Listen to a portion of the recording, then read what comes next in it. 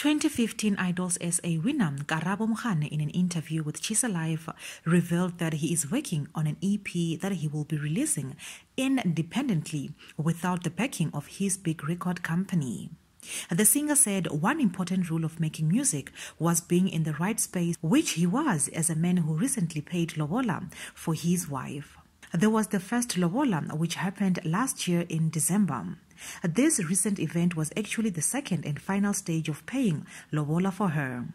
I could have proposed in private, but doing it there in front of both families made it even more meaningful, I think, he said. Karabo also talked about how hard it is to make music. I'll be honest and say it's not easy at all, but I believe in the long run it will be worth it. I think the fear that many people have, I had the same fear, was how I'm going to do it by myself. But the truth is, you will never know how to do it if you never start. Like if you don't go and ask the right questions, and yes, you'll make a few mistakes here and there, and that's understandable because it's your first time.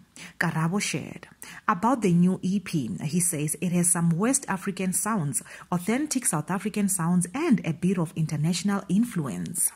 A hi, Tea Squad, and welcome to the Tea World. Uh, due to COVID 19, uh, production of many movies was paused or stopped altogether. It is only now that many productions are learning to work around the pandemic and measures taken to stop its spread which were said to be filmed and released in 2020 are now being released. I Am All Girls is a South African movie that will be coming to Netflix this May. It has so many local faces that we have all come to know and love.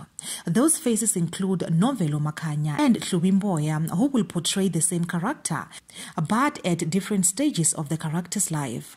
You will recognize Novelo as Lindiwe from Scandal and Hlubi as Isidingos Nandipha, as well as many other films they have acted in.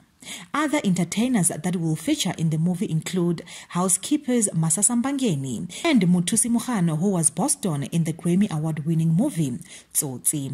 The movie is directed by Donovan Marsh. With a cast like this, the movie is promising to be a great one. I, for one, am excited to see more and more local productions on Netflix. I hope you are too, Tea Squad. Do leave your comments down below. I love you.